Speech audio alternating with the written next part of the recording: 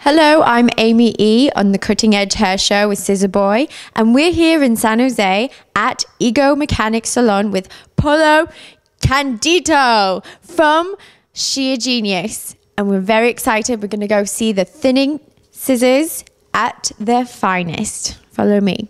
Hi, good. How are you? oh my good. gosh, I'm such a fan. Ah, he's here. what are you going to? Sh- don't let go.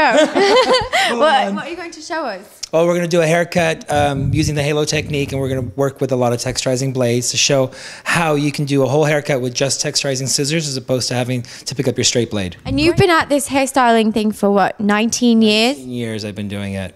Yeah, it feels like yesterday though. You're incredible. Okay, let's go get started. Let's go. Come on. I just want to talk to you for a bit about what you're doing. Okay. Oh, he loves me. He loves me. I love him. Okay, here we are.